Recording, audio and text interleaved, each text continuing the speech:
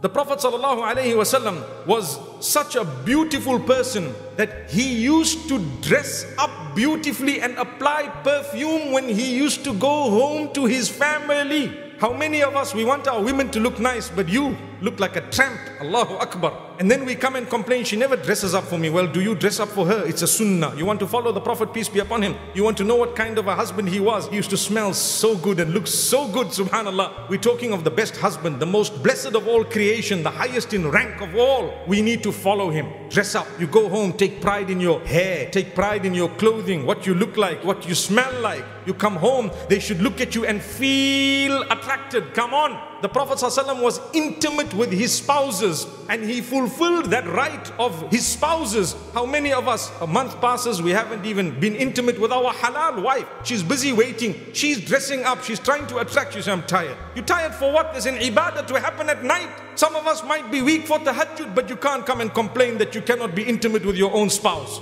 And I'm not ashamed to speak about it because men are guilty of thinking that women don't have sexual needs. This was the Prophet ﷺ. He tells the companions, "Fi ahadikum sadaqah." Remember, when you are intimate with your wife and you fulfill her needs and you satisfy her, it is an act of charity. The Sahaba were rightly so. They asked the question, "Oh wow, is it really a charity?" He says, "Well, if you put it in haram, would you get a sin?" So they said, "Yes, we would get a sin." Well, if you put it in halal in a proper way and you're conscious of the fulfilling of the rights, you definitely get a reward. Even during the menstrual cycle, the Prophet ﷺ used to do everything besides intercourse with his own spouse, subhanallah. And we cannot get into further details, but the Prophet ﷺ has explained this to a certain extent. We stop at that extent. He says everything besides the act itself, because you and I know that is prohibited during the menstrual cycle, but you can still do a lot, subhanallah. Many people, oh, so you're on your cycle, all right, see you after a week. What's going on? I'm being honest. That's a woman, it's not her fault, it's from Allah subhanahu wa ta'ala. Treat them with respect. That is a husband. That is what the Prophet ﷺ told us. He instructed us. He said it with his own mouth, his blessed lips. The problem with us is we're focused on another woman somewhere outside. That's what it is. Astaghfirullah. May Allah protect all of us. Now when you come home and it's halal and it's a sadaqah and it's a charity and your wife has been waiting for you and at times she's actually looking forward to it. She's protected herself as best as she can and you know what? You just say, I'm tired. Tired for what? If there was a football match, you would have forgotten your tiredness. May Allah forgive us. If there was a UFC match, you would have waited until 3 in the morning. But for your wife, up to 11 also you can't wait.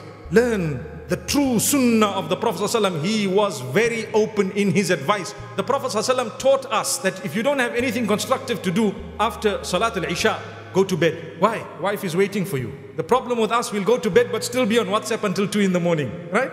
Subhanallah. The wife tosses and turns this way and that way. And you're not getting the message. Subhanallah. She's trying to touch you and you say, hey, wait. But where is the Islam in you? Your Islam should make you think, why am I taught to come to bed here? For what? I'm supposed to go to bed because I have a spouse. Why did you get married if you don't want to spend the nights with your wife? For what? Sit with her, talk to her, play with her, be intimate with her, fulfill her rights, satisfy her, go to bed, get up for Salatul Fajr or Tahajjud, and don't be ashamed to have a shower. Even if the whole house knows what happened that night, so what? It was halal. Allahu Akbar, it's my religion and yours. May Allah subhanahu wa ta'ala grant us a deep understanding.